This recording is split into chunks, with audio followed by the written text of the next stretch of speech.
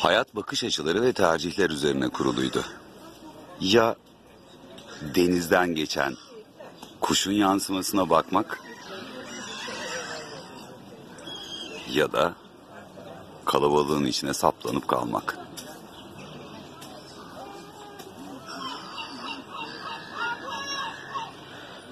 Benim tercihim buradan yana.